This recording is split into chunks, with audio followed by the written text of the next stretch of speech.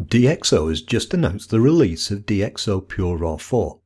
If you're unfamiliar with DxO Pure Raw, it optimizes RAW files by processing them into images or DNG files using key DxO technologies. If you want to maximize your image quality, DxO Pure Raw has some great tools and in this video I'll walk you through what's new in version 4.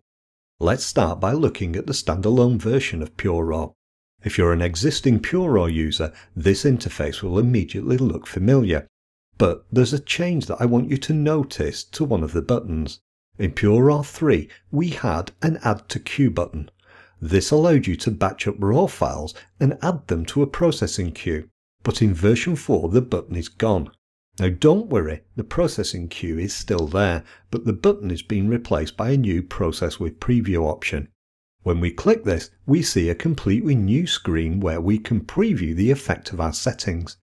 This previously wasn't possible in Pure Raw and you needed to process your RAW files in order to check the effect of settings.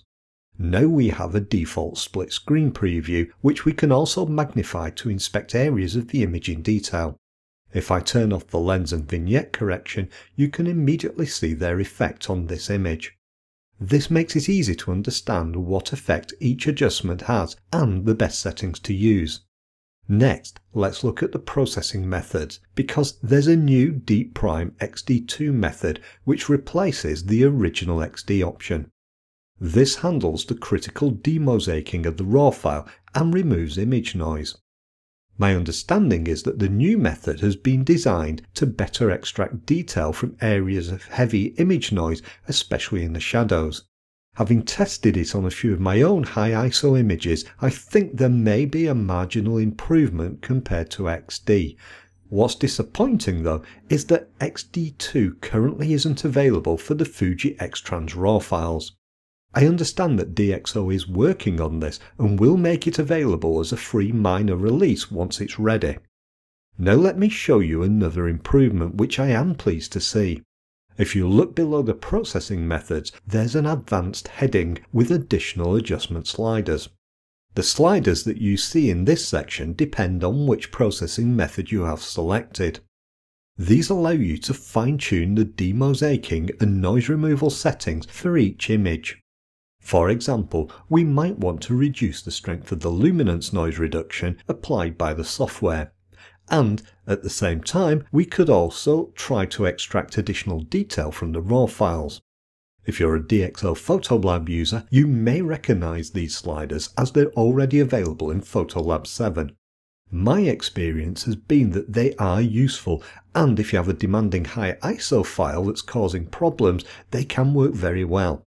Now let's return to the subject of image quality. This example image was captured at ISO 1600 using a Micro Four Thirds camera in low light conditions. Here's a comparison of a small section of the image magnified at 200%. The version of the image on the left was processed using Deep Prime XD, whilst the image on the right is the raw file unprocessed. As you can see, there's a lot of noise in the original image which Deep Prime has then removed quite well.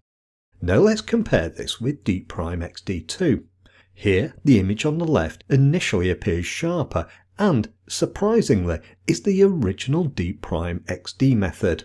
The new XD2 method doesn't appear as sharp or as detailed, so what's going on? The answer to that is that DxO has re-engineered the lens softness correction that's applied in Pure Raw. A criticism in the past has been that Pure Raw oversharpens some RAW files and even creates halos in high contrast areas. It's certainly a problem that I've seen with my Micro Four Thirds RAW files. To illustrate the effect more clearly, let's magnify this section of the RAW file up to 300%. Now we can see the halos around the leaves in the images on the left, but not in the image on the right. Not only that, but we can also make out more detail in the shadows in the background. This does indeed suggest that XD2 is producing a superior result that appears much more natural. Now you might be wondering what the point of all this pixel peeping at 300% is, and we won't see this detail when the image is printed. But actually, You do see the effect of these changes when you print the image, and on some subjects it shows up more than others.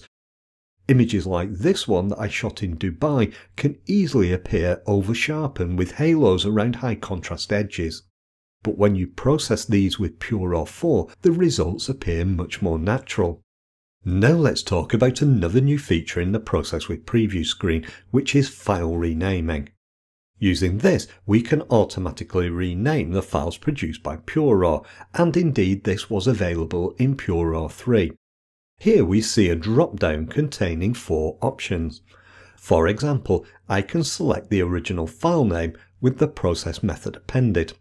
Then below this, we see a preview of the file name that PureRaw will produce. If these templates don't meet your needs though, you can click the Edit option. This opens the new Advanced Batch Renaming dialog where we can create our own templates for renaming files. For example, I can add fixed text to indicate the version of Pure that was used. I can also add something called tokens to the file name, which have variable pieces of information.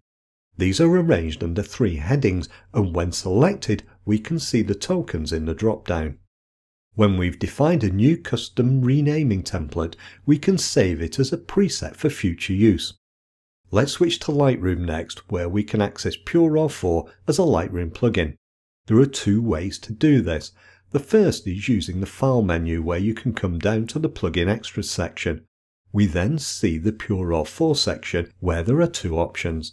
Previously, we only had a process option, but now we have the new process with preview option we looked at earlier.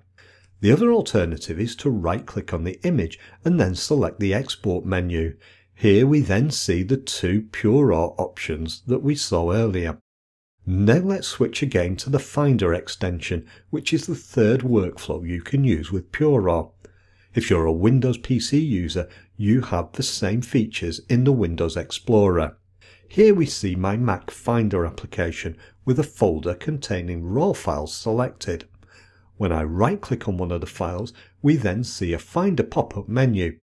This contains several pure raw processing options to select from. These are available because a Pure Raw Finder extension was installed when I installed Pure Raw. When I move my mouse pointer over one of the options, we see the different file formats we can select.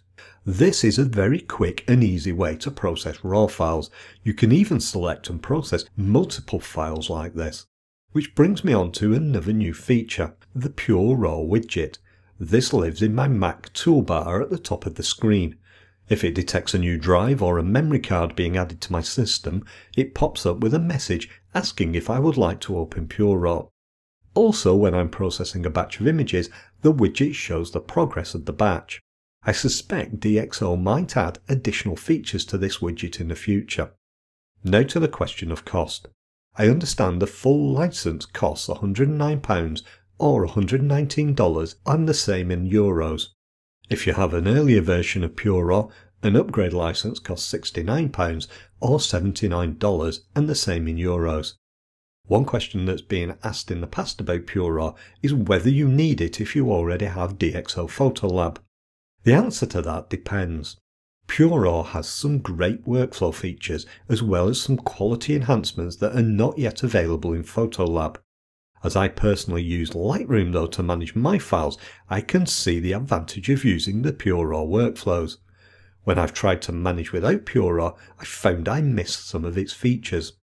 But if you already have DxO Photolab, you can reproduce much of the PureRaw quality as I explain in this video.